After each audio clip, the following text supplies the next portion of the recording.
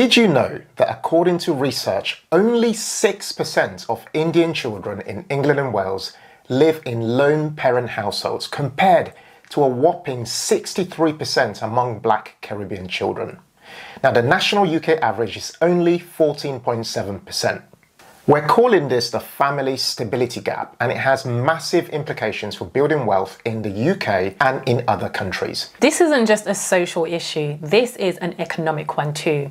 In today's video, we want to unpack why family stability matters so much for wealth and what the data says across different ethnic groups. Plus, we want to touch on how structural and systemic issues impact personal choices and decision making. Now, we know this is a very complex topic and a personal one as well, especially when we talk about anything to do with ethnicity. People take it very personally.